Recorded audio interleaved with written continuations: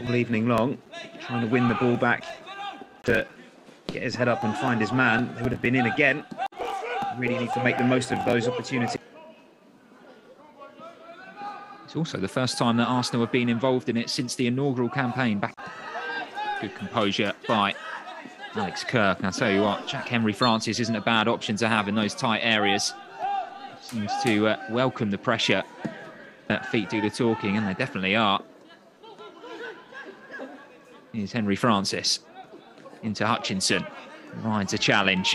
Good body feint by Joel Lopez to retain possession. Now here's Orr. Bournemouth defenders don't know whether he's coming or going, twisting or turning. Flores. In the field. Chance may have presented itself for Henry Francis. Changing at will. Yeah, it's really fluid. I'm sure that Kevin Betsy and Mikel Arteta as well been Arsenal's standout so far. Once again, getting into that space between the. A nice bit of uh, midfield craft by Ben Cottrell, who's uh, quietly having a, very effective performance. Can whip in a, a brilliant pass. Tackles that they've made in the Bournemouth half. I'd love to see those stats because they've been all over the cherries when they've been in possession. If you're not moving up with the defence, it's then easy to be flagged offside. Exemplary so far. Biereth now into the penalty area. There goes Swanson on the overlap. Straight across the face of goal. And there's a second goal for Arsenal. And it's Jack Henry Francis, the man who started the move actually on the edge of his own penalty area. He was the Arsenal player exploiting the space. He's able to capitalise and be the poacher inside the area to make it Arsenal 2, Bournemouth nil. Yeah, and Jack Henry Francis really deserves that goal. So often, Max, you see him, don't you, on the edge of his own box, starting moves off. What you don't often see is him getting on the other end of them and finishing them. Again, I want to highlight the role of Omari Hutchinson. Henry Francis, scorer of the second goal for the Young Gunners. Well, Okonkwo came a long way there. Managed to get enough on his punch, and Henry Francis will sweep up the rest. To Biereth on this near side. Hutchinson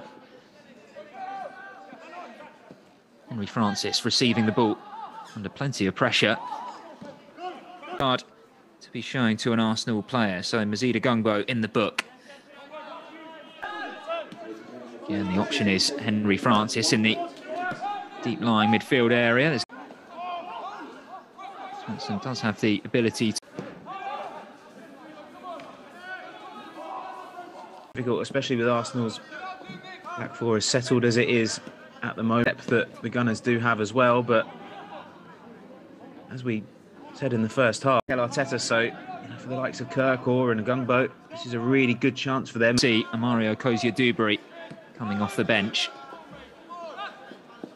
Certainly a youngster. A, a massive fan of Jack Henry Francis, aren't you? Oh, Henry Francis, of course, yeah. yeah. He just does the simple things so well. He can also play passes like that to find Hutchinson here going for the far corner. Two fronts for the Gunners to top the group.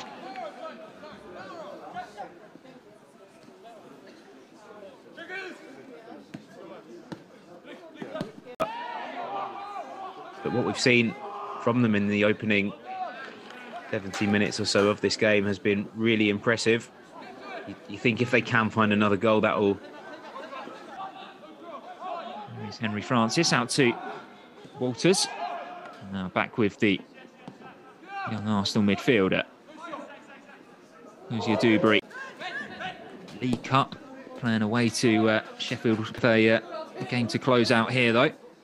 As the clock runs down, I know that there's Arsenal still very much in possession